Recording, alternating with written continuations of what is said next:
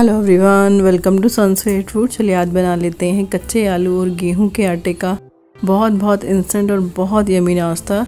बहुत बहुत जल्दी से बनकर तैयार हो जाता है। बच्चों को भी बहुत पसंद आने वाली रेसिपी है। आप इसे मॉर्निंग ब्रेकफास्ट इवनिंग में बनाकर तैयार कर सकते हैं। बच्चों के स्कूल टिफ़िन में सर्व कर सकते हैं।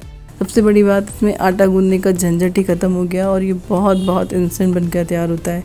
तो आइए देखते हैं कैसे बनाते हैं। सबसे पहले मैंने दो आलू को कद्दूकस कर लिया है और कद्दूकस करके मैंने दो आलू को इस तरह से पानी में भिगो कर रखा है, जिससे कि काले नहीं पड़ते हैं और इसका स्टार्च लेवल भी काफ़ी ख़त्म हो जाता है। और मैंने कट किया है एक प्याज, दो हरी मिर्च मैंने कट कर लिए हैं। अब लिया है मैंने एक बड़ा बाउल उसमें मैं एक मेज़रमेंट से दो कप आटा ले रही हूँ, गेहूँ का आटा। इसकी क्वांटिटी आप अपने अकॉर्डिंग कम ज़्यादा कर सकते हैं।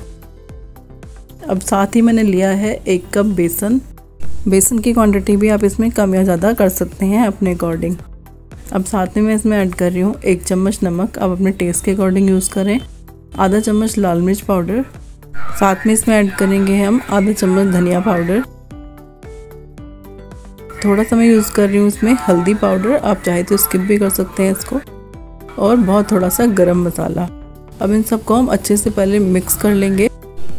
अगर आपको मेरा वीडियो अच्छा लगे तो प्लीज़ लाइक ज़रूर करें। जो चैनल पर नए हैं, वो चैनल को सब्सक्राइब करें और ज़्यादा से ज़्यादा शेयर भी करें और बेल आइकन को दबाना ना भूलें, जिससे आपको मेरी अगली वीडियो को नोटिफिकेशन सबसे पहले मिले। इस तरह से हमें प्रॉपरली इसको अच्छे से मिक्स कर लेना है। और इसमें साथ में मैं ले रही हूँ मैं पानी। एक गिलास पानी मैंने लिया है पहले, अगर ज़्यादा की ज़रूरत पड़ती है तो हम इसमें और पानी ऐड कर सकते हैं। लेकिन थोड़ा थोड़ा पानी ऐड करते हुए हमें इसका एक घोल तैयार कर लेना है। तो थोड़ा थोड़ा पानी करके हम इसमें ऐड करेंगे और एक अच्छा सा घोल तैयार कर लेंगे इसका।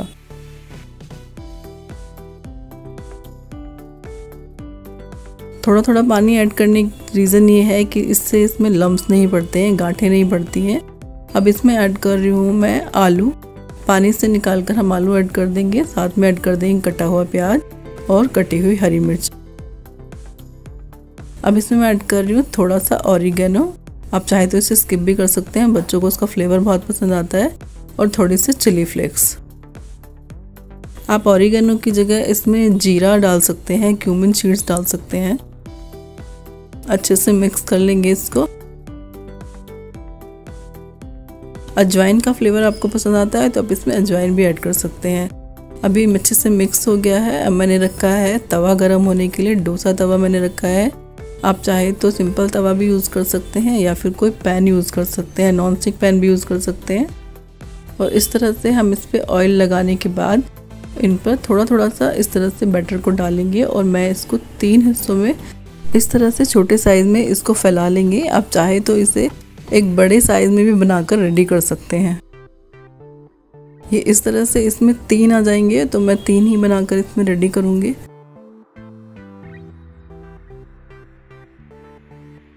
इस तरह से हम इस पर डालकर इसको थोड़ा थोड़ा सा इस तरह से फैला लेंगे।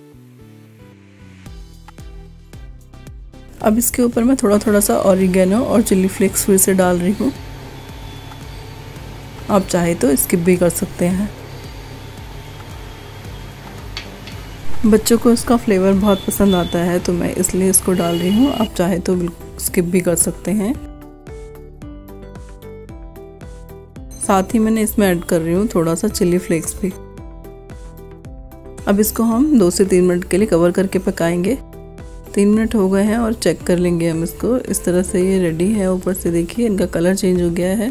तो अब हम इस पर लगाएँगे ऊपर से थोड़ा सा ऑयल और जब हम इसको पलट कर पकाएँगे तो ये इजीली पकेगा इससे। तो इसलिए थोड़ा सा ऑयल हम इस तरह से ऊपर भी लगाएँगे। और अब हम इनको पलट देंगे।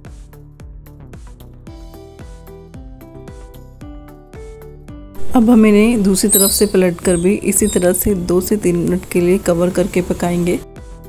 मीडियम फ्लेम पर पकाएँगे, इस चीज़ का ध्यान रखें जिससे कि ये अंदर तक पकेंगे।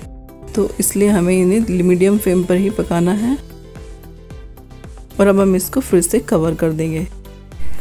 ढककर पकाने से ये जल्दी पकेंगे और अंदर तक भी बहुत अच्छे से पककर रेडी होंगे।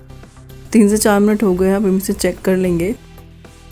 इस तरह से रेडी हैं। अभी हमें इसमें थोड़ा सा गैस को हाई फ्लेम कर कर इन्हें इस तरह से दबा दबा कर पकाना है, जिससे कि ये बहुत अच्छे से क्रिस्पी भी हो जाएँगे। तो अभी हमें गैस को करना है हाई और इन्हें इस तरह से पलटते हुए हमें दो से तीन मिनट के लिए फिर से पका लेना है। हाई फ्लेम पर रेडी है ये, अब इन्हें हम सर्व कर लेंगे। बहुत बहुत टेस्टी बनते हैं। आप इन्हें इस तरह से ट्राई करिएगा। सर्व कर रही हूँ मैं टमाटो सॉस और चिली सॉस के साथ। आप चाहे तो ग्रीन चटनी भी यूज़ कर सकते हैं सर्व करने के लिए। बहुत बहुत अमेजिंग लगते हैं, दही के साथ सर्व कर सकते हैं। बहुत बहुत टेस्टी बनकर तैयार होते हैं। तो ट्राई ज़रूर करिएगा। मिलते हैं नेक्स्ट वीडियो में। तब तक के लिए take care bye bye thanks for watching please subscribe my channel like and comment